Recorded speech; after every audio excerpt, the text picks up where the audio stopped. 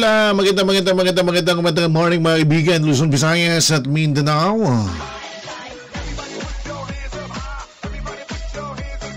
Yan, kumusta, kumusta po kayo mga kaibigan, lalong-lalo na po ang ating mga kababayang OFW.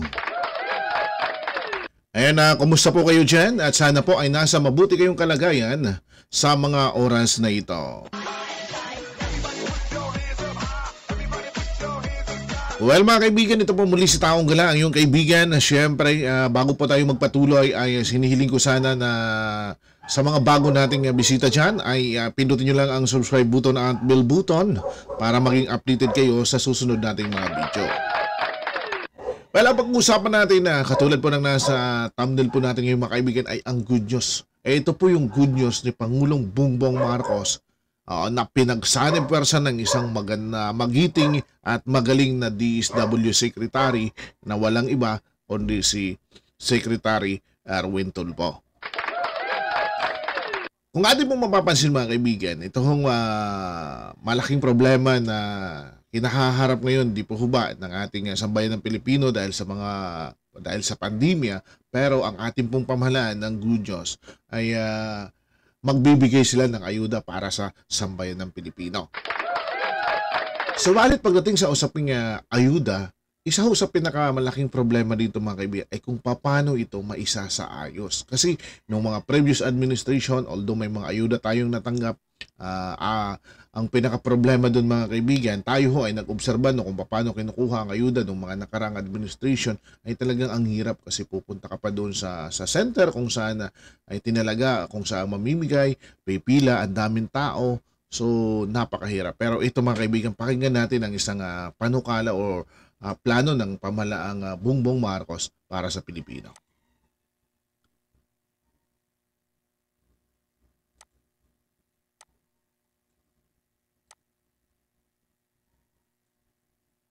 Marami na po nagawa ang ah, present administration, ng administrasyon po ni ah, Pangulong Duterte sa ilalim po ni ah, ah, Secretary Bautista. Pero kailangan po dagdagan, ma'am.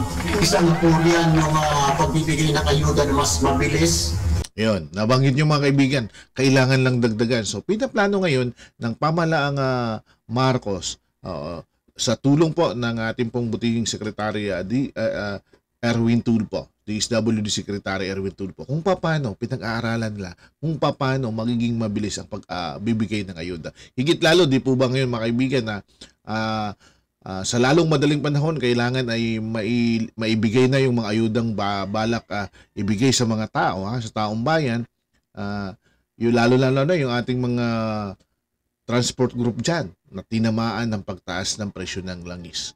Alright, so tuloy tayo. na makarating sa mga tao. Sa kagustuhan na mas Ayun. Ito mga kaibigan na ipapakita natin yung isang ah, ano ah, isang senaryo. ah. mapabilis pa ang proseso sa pamamahagi ng ayuda sa mga mahihirap nating kababayan, isa sa mga plano ni Department of Social Welfare and Development Incoming Secretary Erwin Tulfo na gawing digitalize ang pag-aabot Yun, oo, gawing digitalize. Alam niyo mga kaibigan, napakaganda nito. Ito, ito yung sinasabi. Kasi una, kung magiging digitalize yung pag, ah, pag ah, kuha ng ayuda ay napakaganda. Wala nang hassle, hindi ka napupunta doon, hindi ka napipila, hindi ka napupunta kung saan. So kung yung kung ikaw ay may gagawin sa bahay o di ba ah, pwede mo nang gawin tapos kung kailan gusto mong kunin yung ayuda mo o pupunta ka lang sa mga ATM machine at doon ay kukunin mo. Hindi ho ba napakaganda ng ganitong sistema? Ng tulong sa mga nangangailangan sa ilalim ng bagong administrasyon. Ayon kay Tulfo, ito ang unang mandato na ibinigay sa kanya ni President-elect Ferdinand Bongbong Marcos Jr. Yun. So, uh, at least napakaganda nito mga kaibigan. Alam nyo, napakaganda ho nito kasi ah, sabi nga ipapabilisin yung ah, sistema. Okay? Ang isa lang katanungan dito, ako mga kaibigan, hindi po ako ah, against sa administration. Ha? Sinasabi ko, ako ho ay ah, ah, nagbabantay, ako ho ay ah, sumusuporta sa administration. Pero ito lang ho ang ah, opinion ko. Ang isa lang ho sa pinaka-critical dito mga kaibigan ay yung tinatawag na ah, identification of beneficiaries. Yun do, do, doon ho karaniwang sumasablay. Although may sistema tayong pinapabilis, although may sistema tayong gustong ah, anuhin nila na o sige, ah, kailangan mapabilis. Eh ito na. ka- ah, yung mga pag ah, bibigay ng ayuda, cash card transfer tayo, mayroon kang hahawakang ATM, ah, pupunta ka na lang doon. Well, maganda yun. Ah, napakaganda ho ng ganyang sistema. At least mapapabilis. Pero, kailangan lang natin balikan yung pinaka pinaka punot dulo ng pagbibigay ng ayuda which is the identification of beneficiary. Dito kasi karaniwan sumasablay mga kaibigan. Tingnan natin na yung Pantawin Pamilyang Pilipino program. Pero sinabi naman ngayon na isa sa ayos na. Kasi ang unang ah, ah, ang pagkakalam natin yung ah, ah, mga beneficiary ng Pantawin Pamilyang Pilipino program, sila yung unang nakinabang ng mga ayuda ng ah, pamahalaan eh. Ah, tingnan mo yun. May mga problemang sumasablay doon. Bakit? Mayroong mga nakakapasok na talagang hindi naman talaga totally mahirap. Pero paano naka, nakapasok yan? Kung paano nakapasok o nakapagbenepisyo sila ng programang ganito? Wala namang nagsasabi na ah, ano, as long na nandoon ka sa listahan, ang tanong doon is paano ginawa yung ah, pag-a-identify ng mga beneficiary. So, although maganda yung programang ito, ayan, pinapalakpakan natin. We hope ah, and pray na talagang doon din sa identification, kung paano Ah, kasi ang ang ah, identification ng beneficiary of course may suporta yung ah, barangay. Siyempre sila yung nakakaalam kung sino yung talagang tamang bibigyan. Eh, kung ang ah, ang ano lang natin, ang pagbabasihan lang natin yung mga listahan ng mga taong nasa poverty line eh may mga pagbabago na eh. Kailangan i-ano yun eh. Siyempre, kung baga, mayroong mahirap ngayon, umangat na ang buhay, napunta ng abroad. Ah, di ba? Umangat na ang buhay, napunta ng abroad, medyo maganda-ganda na yung buhay, pero dahil nandun sa ah, so kailangan kailangan ng ah, ang sana lang is ah, doon sa pag-identify ng beneficiary kung sino yung talagang ah, ah, bibigyan ng ayuda is magkaroon ng pinaka pinakamabusisi at ah, koordinasyon sa barangay. Ito sa nasa barangay naman ho, ay ituro ho nila yung talagang kakailangan. Well, ah, mga kaibigan, eto na po.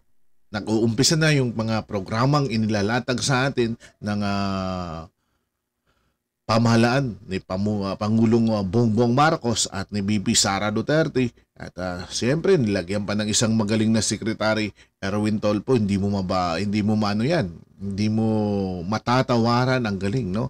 So, ngayon mga kaibigan, ang isang katanungan ay ah, sang-ayon po ba kayo dito sa pagtatalaga ng ah, pinakamabilis na sistema nitong ah, pagbibigay ayuda which is itong tinatawag na digital system or ay ibibigay na lang sa inyo ah, ah, may ATM kang ah, hahawakan and then uh, dediretso ka na ganun hong pinakasimple ngayon.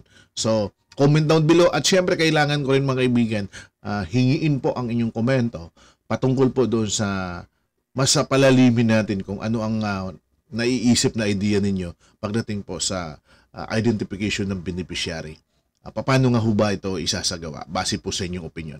Well, mahalaga po kayong mga kaibigan sa, sa video ito, sa vlog na ito. Ah, mahalaga po ang inyong komento para at least ah, ma- mabuo natin and then mapaabot natin sa mga papasok at bibisita din ng ating ah, channel ah, kung ano po ang inyong mga salubin. Sa muli po mga kaibigan, ako po sa Taong Gala at Miguel Love shoutout po sa ating team Ayuda Revive na talagang walang sawang sumusuporta sa atin at laging nandyan. And of course, doon po sa mga bago nating kaibigan na ating pong nakikilala sa ating pong paglalakbay sa social media. By the way mga kaibigan, nagpapasalamat din po ako sa lahat ng mga nagpa-follow ng ating ah, Facebook page. Ha? Tayo po ay ah, ah, makikita din po sa Taong Gala. Taong Gala din po yung ating Facebook page mga kaibigan. And thank you so much po mga kaibigan. Ito po ay meron ng 80 ah, 8,000 na followers. Ah, maraming maraming salamat. Just in a few days, ah, talagang dumami po ang ating followers sa sa page po natin. Thank you so much po mga kaibigan at maraming maraming salamat po. Again, ako po si Taong Gala. Miguel Love shoutout po sa lahat ng mga nandyan, sa ating mga kaibigan. Uh, Bus Rapi Mapagmahal, uh, Anghel, si Badsi, sa Raketera Taiwan nga pala, si Chika Life, ayan, na ating laging nakakasama. Ayan, ah, Tita Mel, Miguel Love shoutout po sa iyo, Tita Mel. Ayan, si Merly si Vlog, yung iba pa nating mga kasama dyan sa Team Ayuda, ja, uh, Jansay and Efren, your friend, of course, uh, MCTV, may love shoutout po sa inyo. Magandang buhay mga kaibigan, hanggang dito lang po muna, aging taong gala po. Magandang araw po sa inyong lahat. the 18th Congress. Ferdinand Romualdez Marcos Jr., the duly elected President of the Republic of the Philippines.